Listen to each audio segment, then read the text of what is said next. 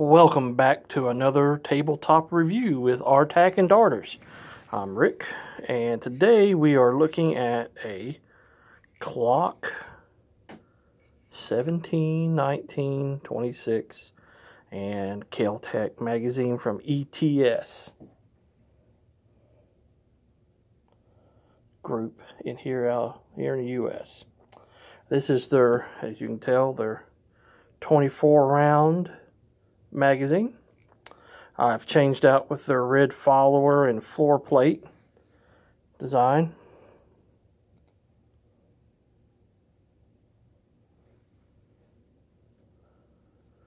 I've been running some of their magazines, their red sticks. This is the first clear stick that I had.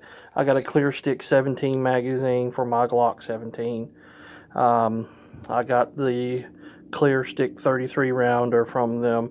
I got the uh, 30 uh, or the, just 24 rounder, and I got the red 33 rounder. Uh, I'm going to get some more. These magazines have been very good, uh, very reliable. Um, this one's been loaded for, I want to say three months. And I just got some regular old FMJs in there for target practice. Reloads, as you can see. For the most part,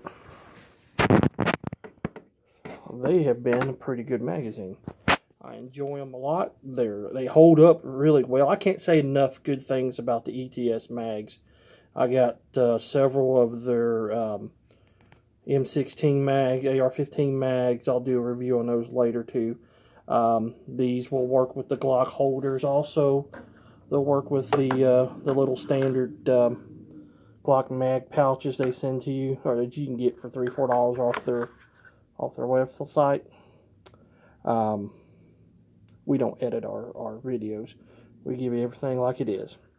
Uh, these are also pretty neat for the price. Uh, they're good if you just want to throw it on, go to the range, uh, practice in the house, dry firing, things of that nature. These are real good for that. Um, unfortunately, I don't think they'd hold up to real good heavy duty everyday carry use, but if you're in a pinch, they work pretty well. And they even fit with the uh, with the ETS mags here if I can get it in there right.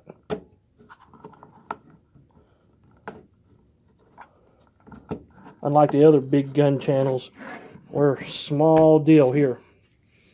Uh, maybe one of these we'll get a camera and do some better uh, handling. As you can see, so it fits in there. Even works with the ETS mags. So, pretty good. I even recommend these little Glock pouches. Uh, just in case you want to Gucci yourself out or if you're a super fanboy. Um, sometimes I like Glocks too, so I mean, um, but I'm not like who who who Glock. But anyway, um, they work good for that. For just whatever going to the range or practice at the house. I can't say enough good things about these mags, even the followers. And another thing is, you get to see how much uh, uh, rounds you got in the mags, a clear thing. Uh, I know they're making them in different colors now. Lancel Tactical's got some of those too. So, all right, that's what we think about these ETS mags. Um, we'll have more to come.